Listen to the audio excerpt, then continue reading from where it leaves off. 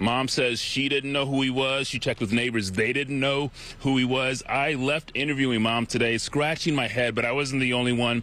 This apparently had police scratching their heads, the, the neighbors scratching their head, and mom and this entire family scratching their heads, trying to figure out what this man was doing in their home for so long. So all the adults were out here putting together the swing set. My daughter came outside and said there was just a man standing outside of Max's bedroom. Let's call that man Mr. Cool, Calm, and Collected.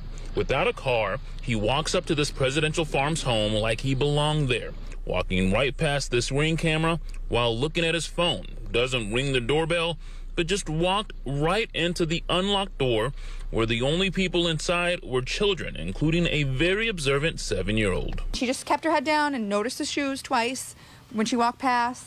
Then she did it again and just kind of looked at that was it. She didn't make eye contact with him, but she noticed that he was wearing black and green camo crocs with little charms in it, like pizza and hot sauce. Mom says he never said a word to any of the children he saw inside, but for 16 minutes, he was inside their home, upstairs, downstairs.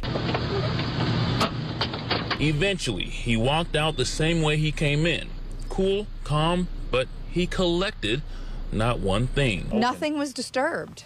And I asked my daughter, did he go into bedrooms? Did he was he doing anything? Did he ever open my bedroom door? No. When the adults finally realized what happened, they called police and checked with neighbors. I really am trying to see the good here and that it really was an honest mistake because I, it doesn't make sense to me in any other way.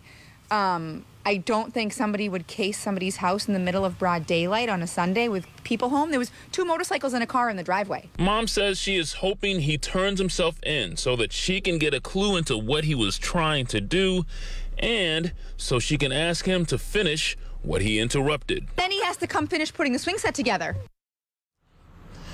And that'll be the follow up story when that happens. Listen, mom ch- says she's using this as an opportunity to speak with her kids about stranger danger, Mark, and she encourages other parents to do the same thing. I can understand why, Wale. This is a bizarre story. I know video shows the man walk up to the home. We saw that. People at home saw that. Did police know if he went to any other homes yesterday?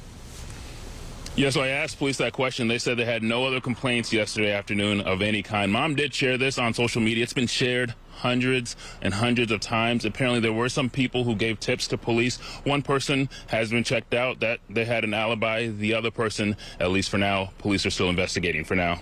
That's the very latest here in Northbridge. Wale, Aliyu, Boston, 25 tonight. At least they have the video and they can keep pouring over that. Wale, thanks.